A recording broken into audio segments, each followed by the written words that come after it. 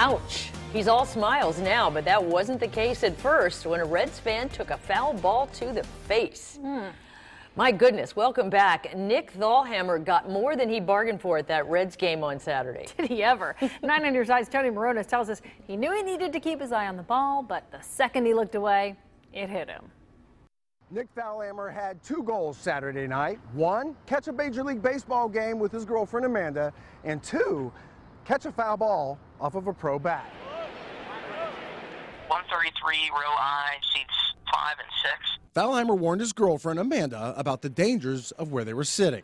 You know, you might be looking at the scoreboard or doing something else during the game. And, you know, I definitely mentioned it to her, and just kind of ironic that one of them, I guess, got me because I wasn't paying attention for one pitch. So. Everything went well until the bottom of the seventh inning when Marlon Byrd came to the plate and Thalhammer was looking at his phone. That foul ball drilled him in the face. The umpire had to stop the game for about four minutes because many of the fans were focused on Thalhammer, not the game.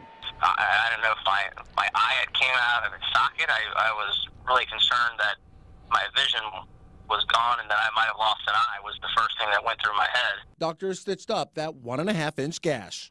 Instead of being, oh, why me, why me, I'm just thankful that I can see today and that, you know, everything's going to end up being okay. When Nick shared the photos on social media, Byrd replied that he was glad he was all right. Just look at Byrd's reaction when the ball hit Nick. Remember, Nick's goal was to catch a foul ball and share a day with his girlfriend at the game. I'm glad that it, uh, got me and not her. Well, she's smiling, and Nick's showing off that eye catching foul ball.